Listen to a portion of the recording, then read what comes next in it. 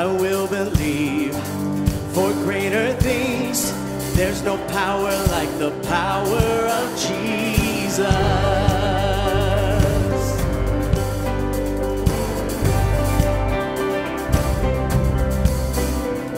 With just one word, you calm the storm that surrounds me. With just one word has to retreat. With just one word I feel the presence of heaven. With just one touch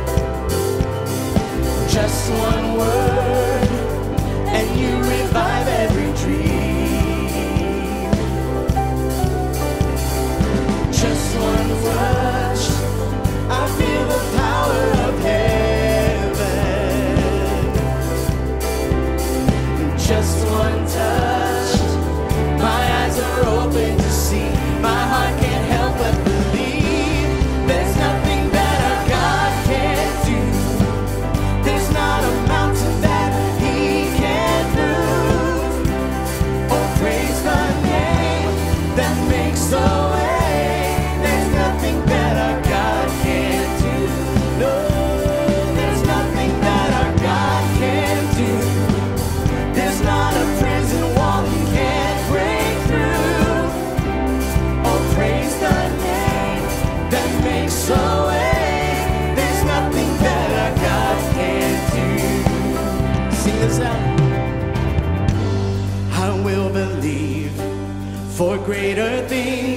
There's no power like the power of Jesus.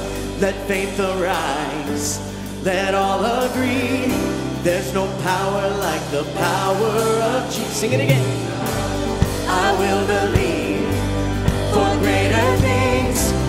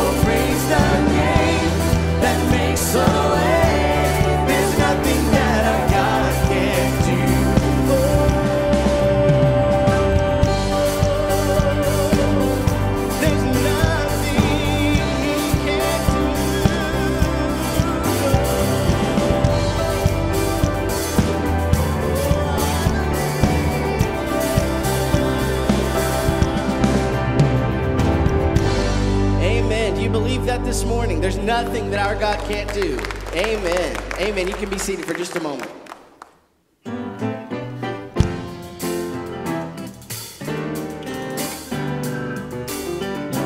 That Christ is all in all.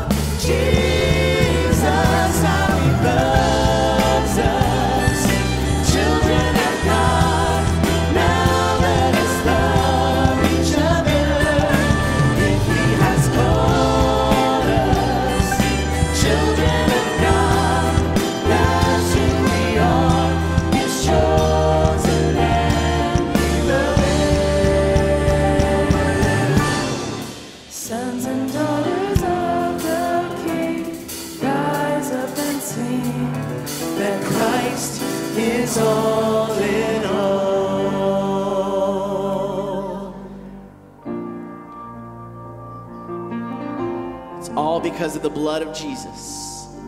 He's made us one through his blood. Let's thank Jesus for the blood this morning. I was a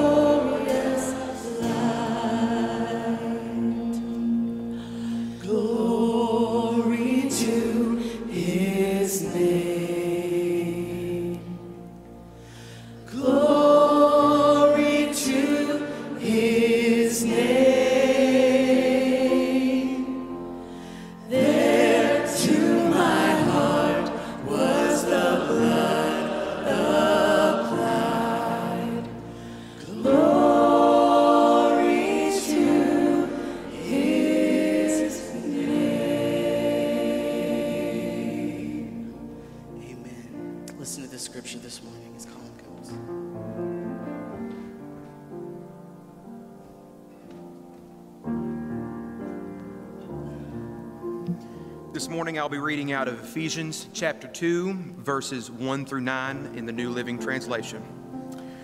Once you were dead because of your disobedience and your many sins, you used to live in sin, just like the rest of the world, obeying the devil, the commander of the powers in the unseen world.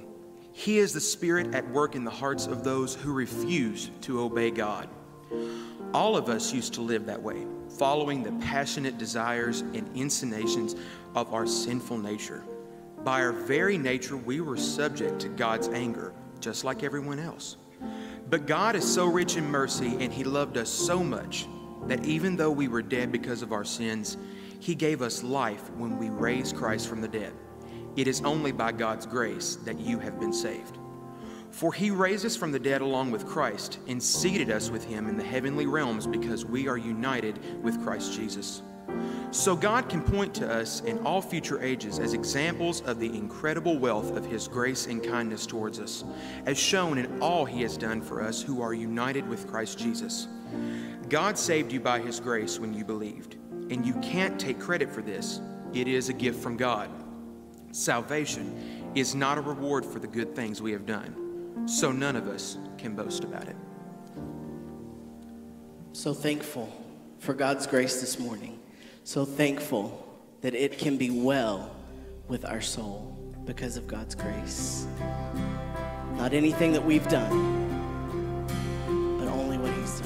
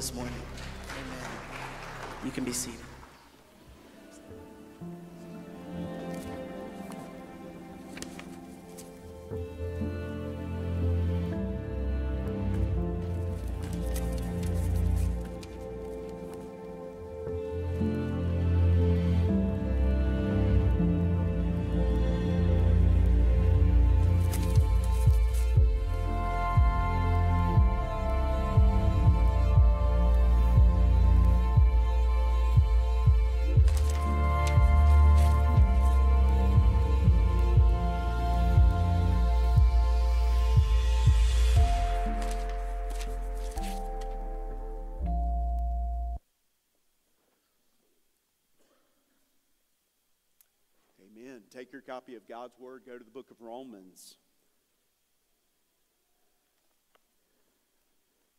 Thank you, choir and worship team, and Cole for leading us to the throne room this morning in worship to King Jesus. Romans chapter 15, verses 22 through 33. As soon as you find that passage, stand with me and let's read God's word together. Romans chapter 15, beginning in verse 22. The Apostle Paul writes, This is the reason why I have so often been hindered from coming to you. But now, since I no longer have any room for work in these regions, and since I have longed for many years to come to you, I hope to see you in passing as I go to Spain, and to be helped on my journey there by you once I have enjoyed your company for a while.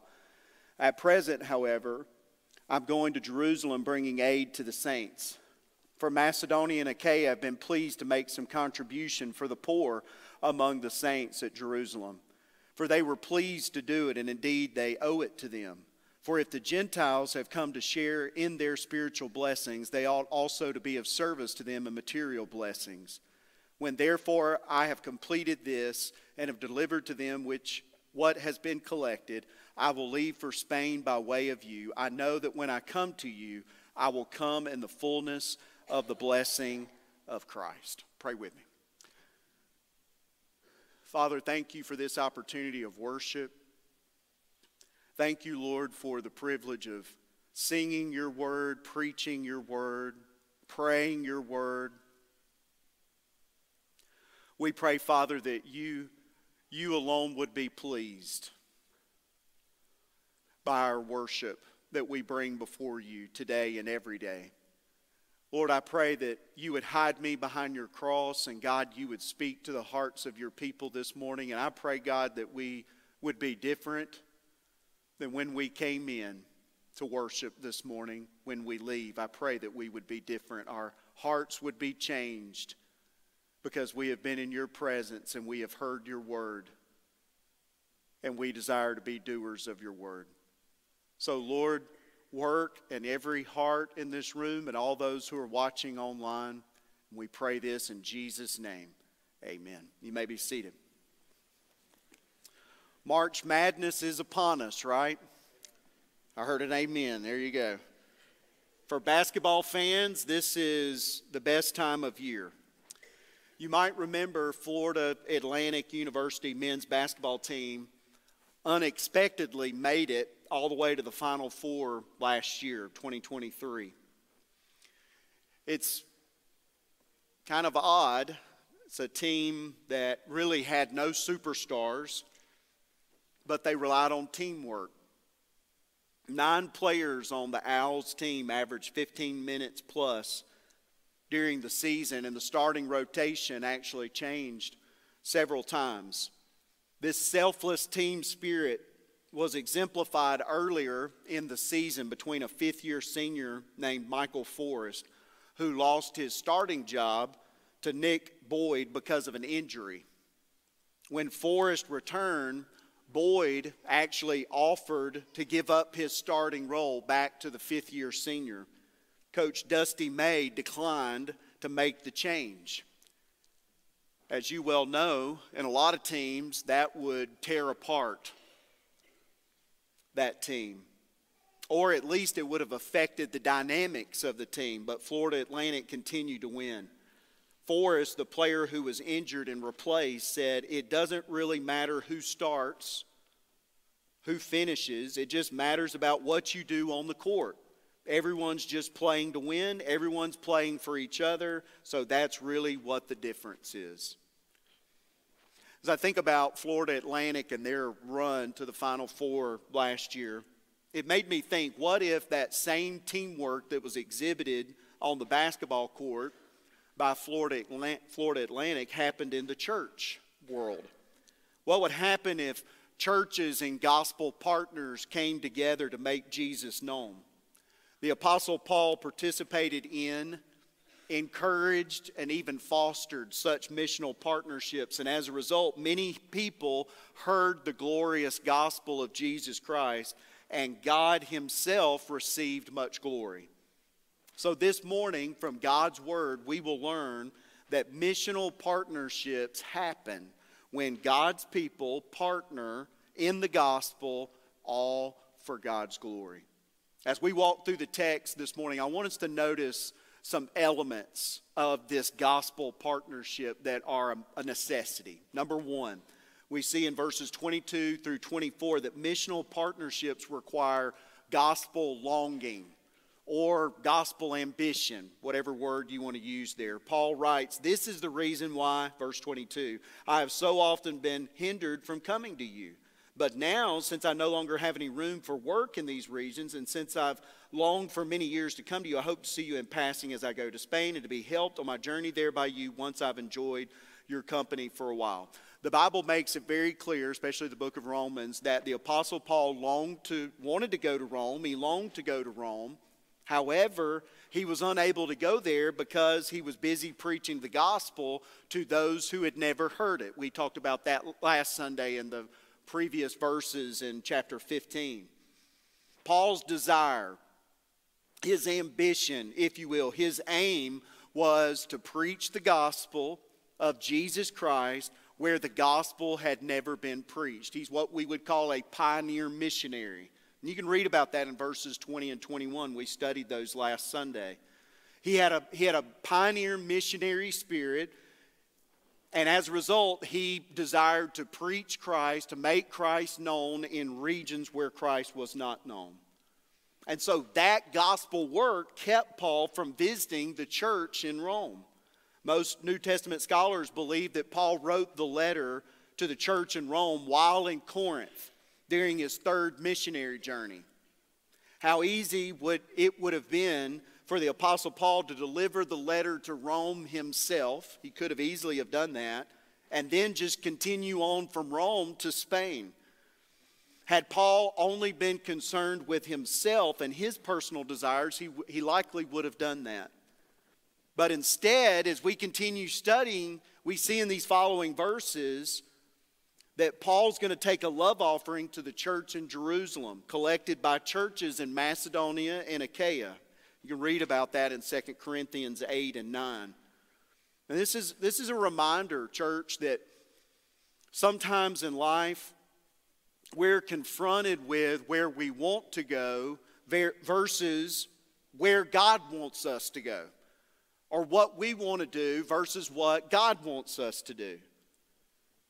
God doesn't always send us where we want to go. Anybody remember the story of Jonah in the Old Testament?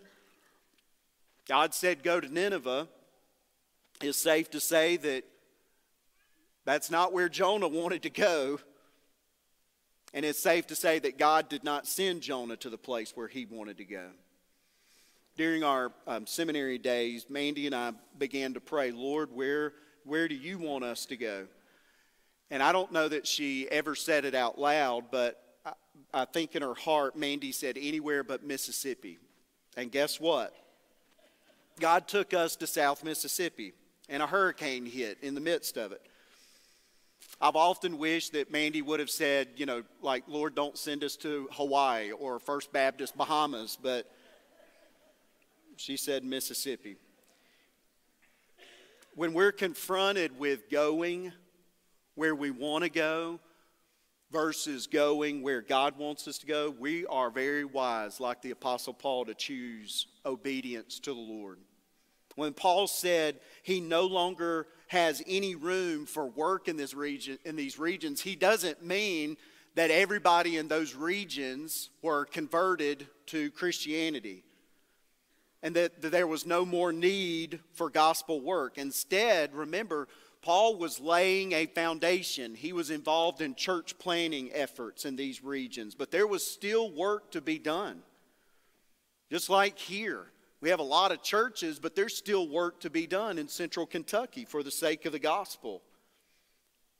However, Paul realized it would be others who would come along and maybe he planted the seeds, but others would come along and water those seeds that Paul had planted. There'd be others who would come behind Paul, in other words, to continue the gospel work. Notice verse 24. Paul writes, I hope to see you in passing as I go to Spain and to be helped on my journey there by you once I've enjoyed your company for a while. When Paul talks about Spain, he's speaking about the Iberian Peninsula, which includes modern day Spain and Portugal. Rome would have been a really a strategic base, a jumping off point from Rome to, to Spain a launching pad, if you will, for a missionary journey to Spain.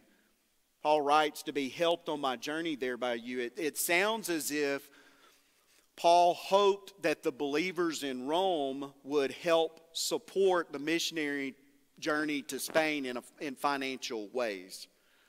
And he hoped that through the collection, Gentile believers could show their generosity and their love for the Jewish brothers and sisters. He also hoped that it would promote unity between Jewish believers and Gentile believers, which we've seen as a, as a big key premise in the book of Romans. And it would be, in that sense, it would be a win win scenario.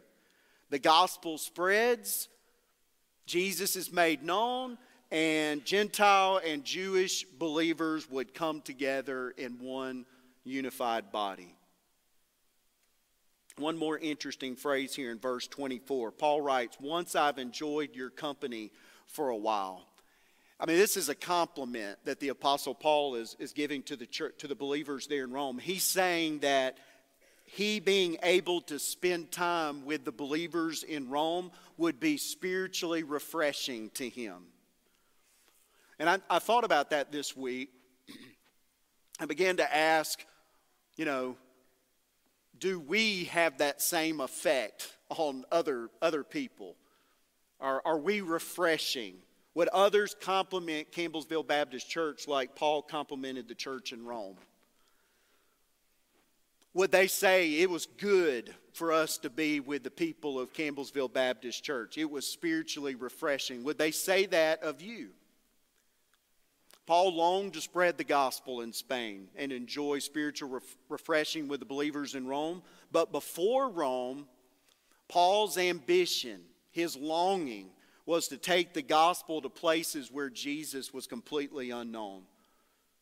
And I think we can learn some things from this church. Paul teaches us that without gospel ambition, without gospel aim, without gospel longing, there can be no gospel partnerships. There, has got to be a, a passion in our heart, there's got to be a fire in our hearts that Jesus is made known. And so then we begin to, we have to ask ourselves do I have that kind of gospel ambition? Do I have that kind of gospel longing? Does my church have that kind of gospel ambition and longing? Do I, do I long to make Christ known? Does Campbellsville Baptist Church long to make Jesus known? And some of you may be asking, well, Pastor, that sounds great, but where does that gospel longing, that gospel ambition, where does that even come from? Like, where does that originate? And I believe you have to keep on reading in the text to get that answer. So, missional partnerships require gospel longing. Number two, we see in the text that missional partnerships require sacrificial giving. I want you to notice what happens in verse 25 and following. Paul writes, At present, however, I'm going to Jerusalem bringing aid to the saints. We talked about that a few minutes ago. For Macedonia and Achaia have been pleased to make some contribution for the poor among the saints at Jerusalem. For they were pleased to do it, and indeed they owe it to them. For if the Gentiles have come to share in their spiritual blessings, they also ought to be of service to them in material blessings. These few verses answer some questions, or you can ask some questions of these few verses. First, you can ask what, or excuse me, when. Well, Paul says at present. So, Paul, in other words, had tentative future plans to go to Rome. However, his current plan was to go to Jerusalem and do what? That's the second question. Paul had collected money. We read about that from the churches in Macedonia and Achaia specifically for the poor among the saints in Jerusalem, for poor uh, Jewish believers. And that also answers the who. He collected this love offering for churches in those church from churches in those regions.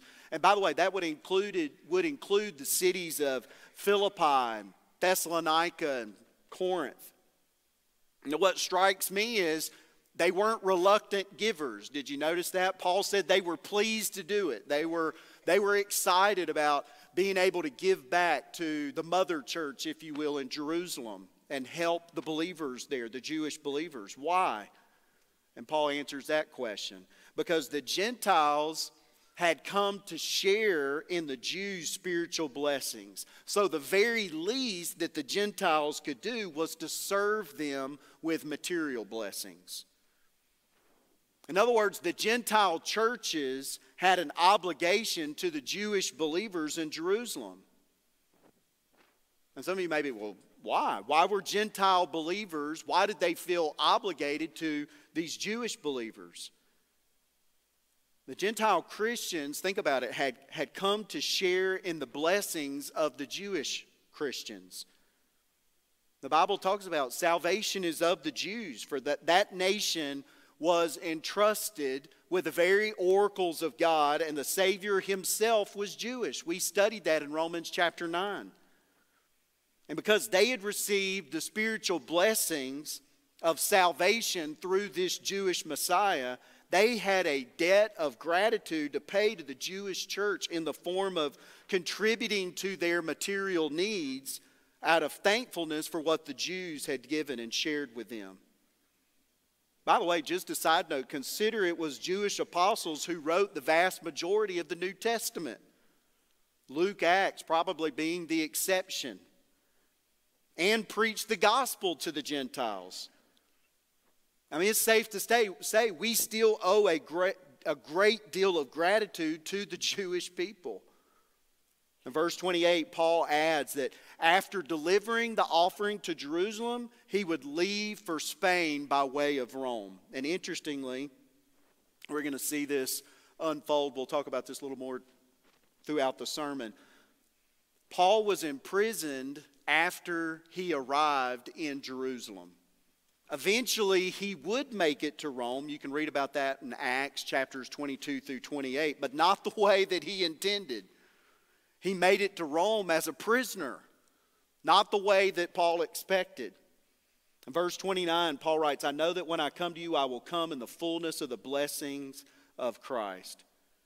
A couple of things jump off the page to me when I read this. No, number one, we see that Paul's certainty here. Did you see that? We, Paul does this from time to time in his, in his writings. He will say, I know, well, that's, that's what he does here. He knows with certainty that when I come to you, I will come in the fullness of the blessings of Christ. When you first read that, it kind of comes across, maybe at first reading, maybe a little arrogant.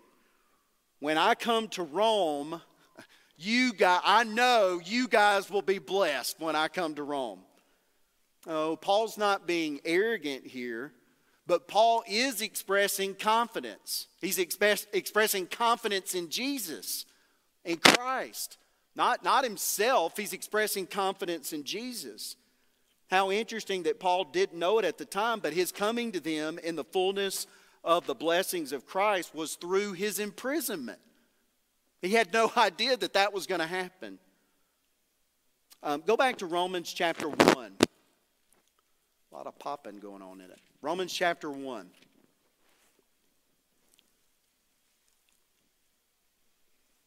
This is a good reminder, and it's been a while since we were in Romans 1. In Romans 1 11 and 12, remember what Paul had said For I long to see you. He's speaking to these believers in Rome that I may impart to you some spiritual gift to strengthen you. That is, that we may be mutually encouraged by each other's faith, both, both yours and mine.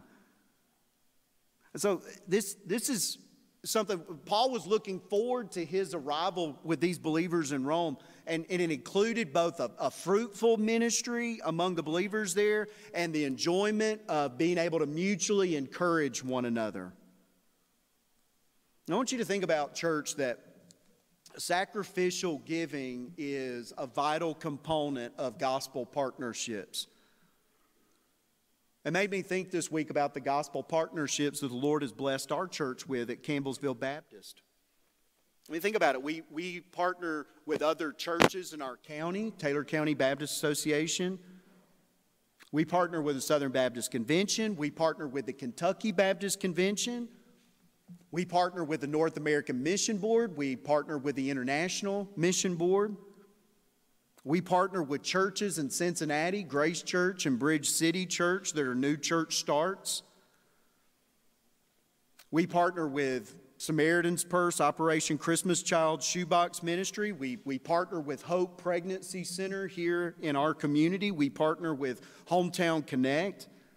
We partner with our local schools to help feed children during the summer months, and we participate in Room at the Inn and seeking to be a blessing to those families. And guess what?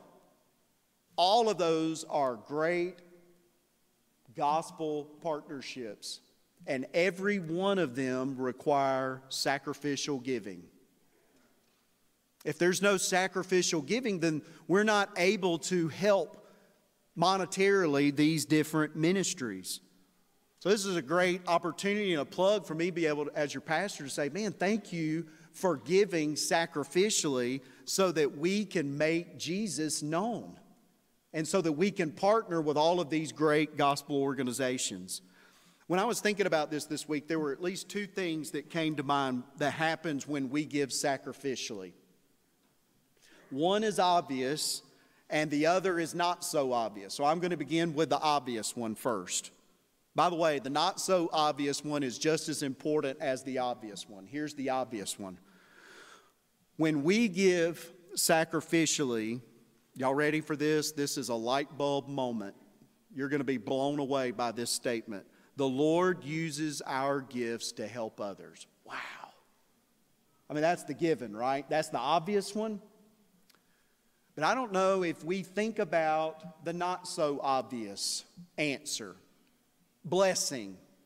When we give sacrificially, the Lord uses our gifts to bind us together as one in these gospel partnerships. So we're one with Grace Church. When, when Grace Church, when Pastor Will and I have the opportunity to to share videos of what's going on at Grace Church and and they're seeing people saved and baptized, Grace Church in Cincinnati. Man, we rejoice in that because we're gospel partners. We're together as one. Same thing when Bridge City Church sees God move in great and mighty ways. Same thing should happen when other Southern Baptist churches in the Taylor County Baptist Association grow and see people saved and baptized. We go on mission trips and see people saved. We're, we're a part of them. We're a part of one another because we are one in Christ Jesus. And so we should Man, that's awesome, right? We should be excited about that. When, when we hear what's happening in Belize and other places in the world through gospel works that we partner with, we ought to rejoice because God's at work. This is not competition, this is kingdom work, right? So, two things. One, we know the Lord will in, by His grace, He will choose to use our gifts to help others. But secondly, what is not so obvious is the Lord will use our gifts to bring us closer together. That's what was happening here in the, in the early church, in the church of Rome. Paul was making sure that these Gentile believers were giving and helping the Jewish believers back in Jerusalem so that why? So that the Jewish believers would certainly be helped. They needed help, they needed financial help, but also so that the gospel would be further proclaimed and propagated, and also so that Jewish and Gentile believers would come together as one in the body of Christ. So, missional partnerships require sacrificial giving. And thirdly, missional partnerships require passionate praying. Passionate praying. Look at verse 30. Go back to Romans 15, though. You're like me, maybe still in Romans 1. Romans 15, verse 30. I appeal to you, brothers, by our Lord Jesus Christ and by the love of the Spirit, to strive together with me in your prayers to God on my behalf, that I may be delivered from the unbelievers in Judea and that my service for Jerusalem may be acceptable to the saints, so that by God's will I may come to you with joy and be refreshed in your company. May the God of peace be with you all. Amen. Towards the beginning of this letter, Paul told, told the believers in Rome that he was praying for them. Go back to Romans chapter 1, verse 9 and following. So it's more than appropriate for Paul to ask the Roman believers to pray for him. And here's some thoughts about this section to our praying and how it relates to our praying for missional partnerships. Number one, notice there's some stimulating factors in our praying for missional partnerships. Stimulating factors. Notice what he said there in verse 30. I appeal to you, brothers, by our Lord Jesus Christ and by the love of the Spirit. Paul reminds the believers in Rome that, that we have one common Lord and we have one common love, being the fruit of the Holy Spirit. And so, in other words, what is it that motivates us? Remember, remember me talking about that at the very beginning of the sermon? We, missional partnerships require missional longing or gospel longing. And I told you we're going to talk more about that later. How does that happen? What motivates us to struggle and not give up on missional partnerships? What motivates us to struggle and not give up in our praying? The Lord Jesus Christ and the love of the Spirit of God that indwells and fills every believer of the Lord Jesus Christ. Those are our stimulating factors in our praying for missional partnerships. Secondly, notice the struggle there's stimulating factors, but there's also the struggle in our praying for missional partnerships. You see what he said? If I love Paul's honesty here, right? Strive together with me in your prayers to God on my behalf. The word strive that's used here in my uh, ESV text is translated as struggle in some of your English texts. And it reminds us that prayer is in and of itself a supernatural work. It really is. It's, it's supernatural. And it's supernatural to continue in praying when you feel like throwing in the towel. Why do we strive again, or what do we strive against when we pray? Well, in Ephesians 6, Paul talks about how we wrestle against principalities and powers of darkness, and certainly that's at work in working against us in praying. But interestingly, Paul doesn't specify here in Romans chapter 15 are any adversary with whom we're to strive against.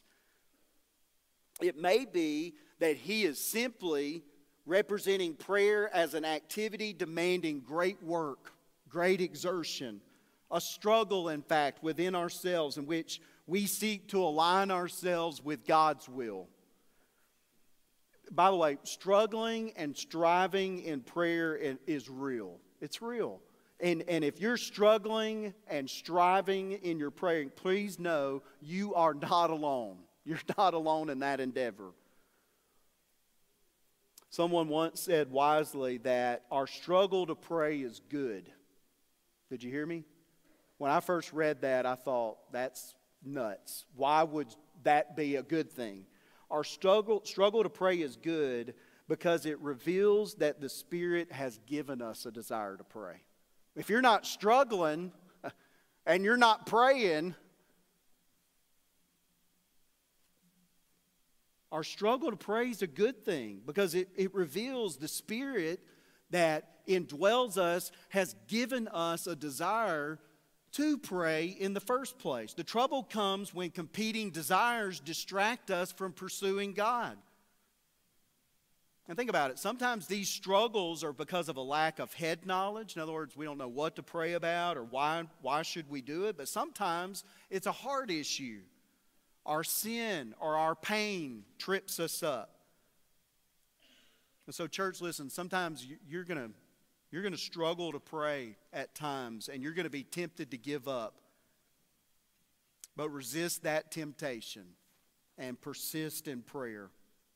By the way, a great book about this very topic is When Prayer is a Struggle, is the name of it. A practical guide for overcoming obstacles in prayer. It's by an author by the name of Kevin Halloran H A L L O R A N. When Prayer is a Struggle. So, what I want you to realize this morning is man, missional partnerships require passionate praying, and there's going to be times in your spiritual journey and in my spiritual journey that praying is a struggle. And that's when we want, we've got to pray it through, right? We, we get back on our knees, we get back to praying before Holy God. So we've seen here the stimulating factors. We saw the struggle in our praying. And thirdly, notice the specific nature of our praying for missional partnerships. Uh, go back to, I want to read this one more time, verses 31 and 2. Paul writes that I may, so these are specific prayer requests, right? You with me? Everybody with me? Stick with me. We got a few more minutes. This means yes. You're with me. This means no. I didn't see any no's, so you're with me, all right? Specific prayer requests that I may be delivered from the unbelievers in Ju- Judea, and that my service for Jerusalem may be acceptable to the saints, so that by God's will I may come to you with joy and be refreshed in your company. So, Paul's going to share at least two specific prayer requests in those verses. Some people see it as three. So let's look at them one by one. Verse 31 Pray that I will be rescued from those in Judea who refuse to obey God. So Paul's first prayer request relates to unbelievers in Jerusalem, right? There were believing Jews and there were certainly unbelieving Jews.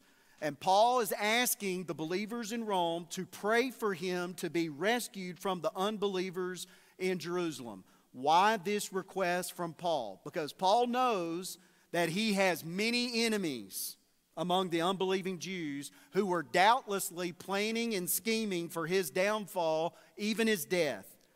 So he knows that he's in danger, even for his life. So he's asking these believers in Rome to pray for his protection and deliverance. That was prayer request number one. Here's number two, the end of verse 31. Pray also that believers there will be willing to accept the donation I'm taking to Jerusalem. So now Paul's going to transition from praying for, asking them to pray for him for deliverance from unbelievers to now, hey, pray, these Roman believers pray so that these believing Jews in Jerusalem will be willing to receive this offering that was collected by these Gentile believers. And why in the world is that such a big deal?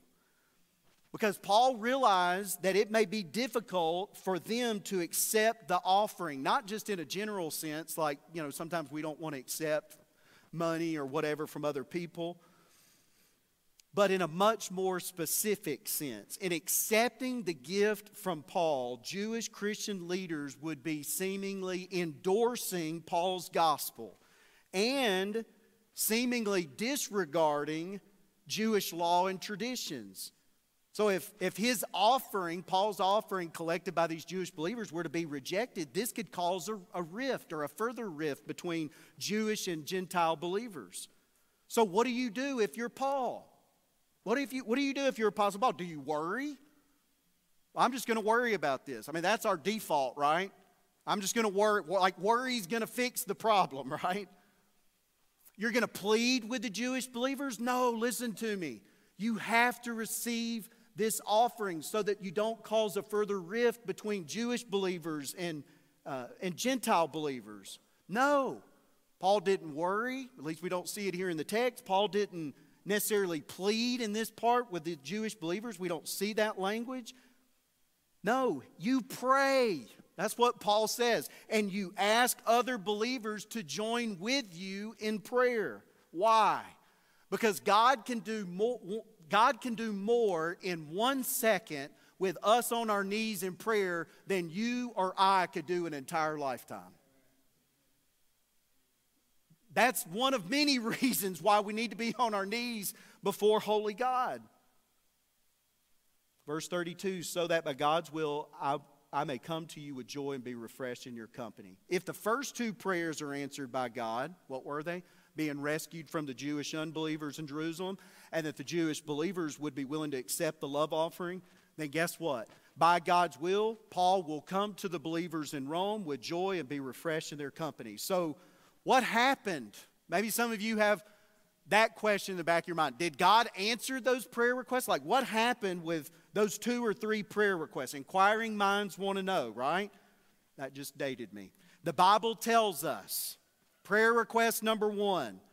Remember, delivered from Jewish unbelievers in Jerusalem. Was that prayer answered? Yes. Although Paul was arrested in Jerusalem, he was not killed. Go to Acts 23 10. So it didn't, it wasn't answered in the way that the Apostle Paul hoped that it would be answered, right? But God answered that prayer. Prayer request number two. Jewish believers accepting the love offering. Did they? Yes. Go to Acts chapter 21, 17, and the Jewish believers received Paul and James and the elders with gladness, the Bible tells us. Well, what about if it is? I think it is. Prayer request number three. Paul going to Rome with, with joy and mutual encouragement. Remember that? Yes. Acts 25. Although it was not the way that Paul probably anticipated his arrival in Rome, because he was a prisoner, he was in chains. But according to Acts 28, he did come with the joy of Jesus and as an encouragement to fellow believers in Rome.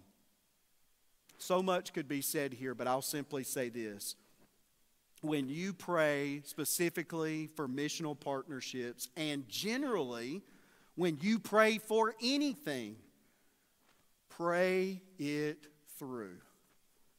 Keep on striving, keep on struggling. Don't give up, don't throw in the towel. And please Pray specifically. That's what Paul teaches us here. Pray specifically. There are tons of reasons why we should pray specifically, but let me just give you one. Praying for specific needs makes us, guess what, more alert to God's answers. When we pray specifically, it makes us more alert to God's answers. If I pray, Lord, bless them, just generally speaking. Lord, bless them.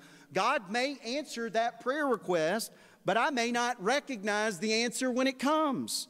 But if, on the other hand, I pray for, give us this day our daily bread, right? Or something similarly specific, I will be more attentive and alert to the answer when it comes.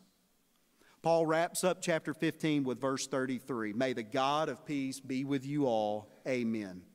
This is a third benediction from the Apostle Paul. It's a prayer in which, having asked for their prayers, now he prays for them again.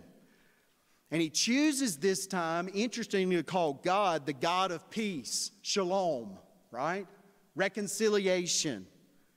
It's a central Jewish concern, shalom, and that he deliberately writes not with you, may the God of peace be with you, but did you notice? He says, be with you all. That implies that Paul's mind is preoccupied to the very end with Gentile and Jewish unity.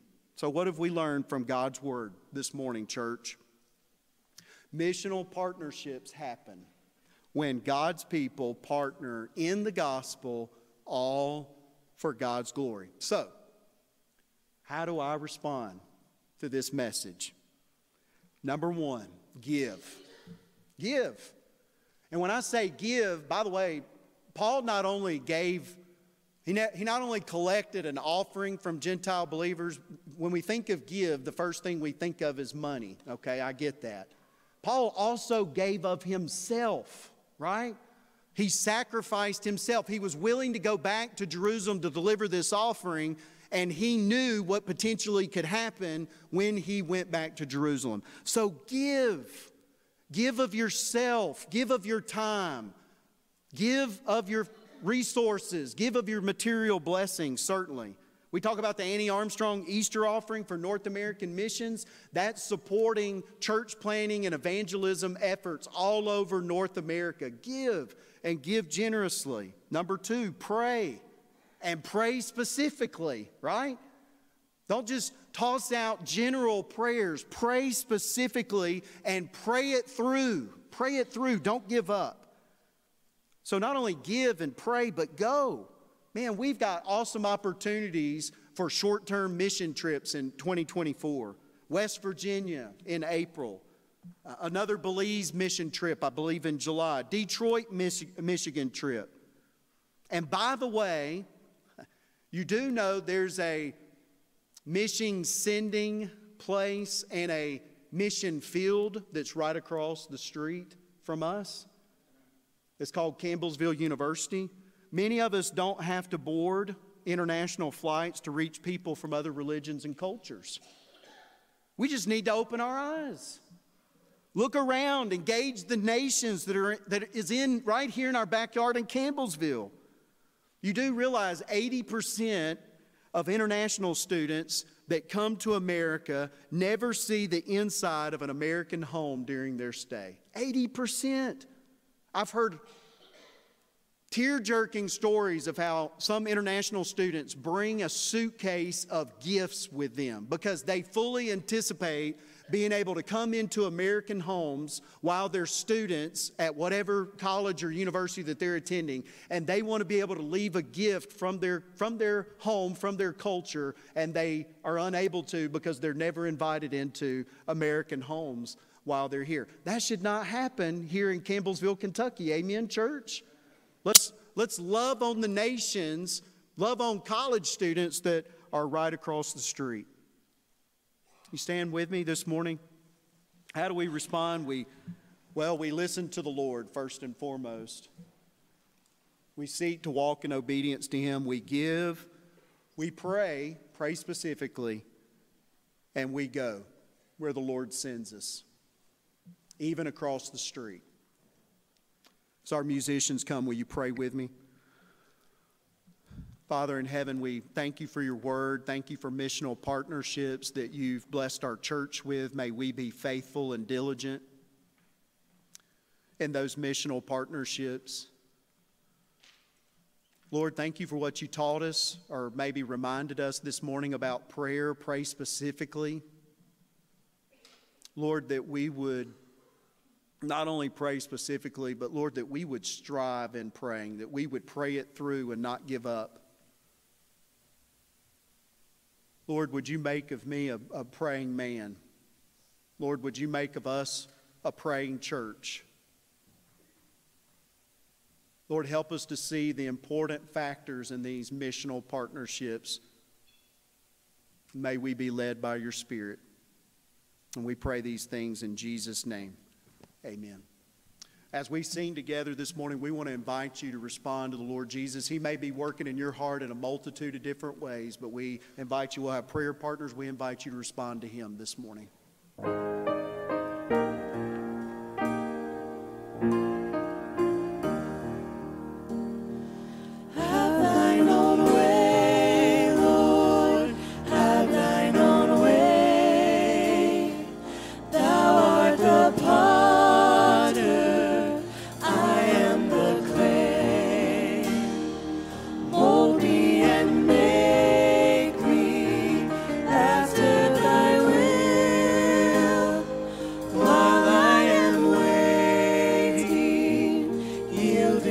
still